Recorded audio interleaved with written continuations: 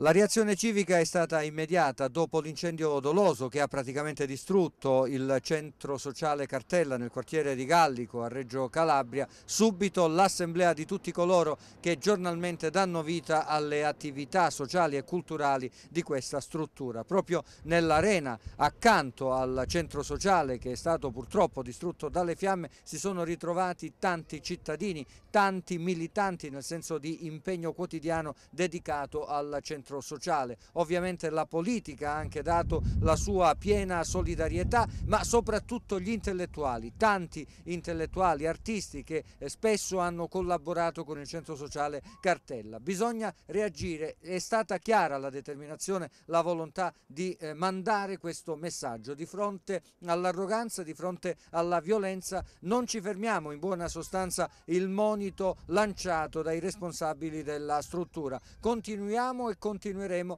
per far sì che il centro sociale ritorni ad essere ancora una volta momento di aggregazione. Tra i tanti interventi sicuramente si è evidenziata una filosofia eh, di vita al di là della connotazione ideologica e politica che può naturalmente eh, caratterizzare l'impegno del centro sociale Cartella. È stato detto manca in questo momento di crisi sociale ed economica i, i luoghi di aggregazione. Quando uno di questi viene colpito certamente sicuramente è un colpo al cuore, ma ribadiamo, la reazione ci sarà, bisogna continuare ancora e sicuramente questo avverrà. Siamo qui per dire che non sono questi gli atti che ci faranno chiudere questa esperienza che da dieci anni continua nella città di Reggio Calabria.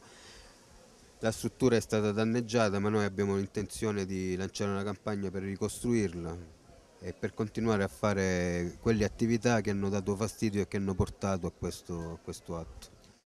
Nino Racco, attore conosciutissimo che porta il suo messaggio di solidarietà qui al centro che è stato distrutto, il centro Cartella, sì. però la cultura non si ferma nemmeno di fronte agli atti dolosi e inqualificabili. Uh, beh, anzi, certo, certo no, non, eh, ma gli atti dolosi come questo qua dell'incendio del Cartella eh, hanno un, un significato profondo. Eh? Quando avvengono questi fatti qua non avvengono in maniera casuale.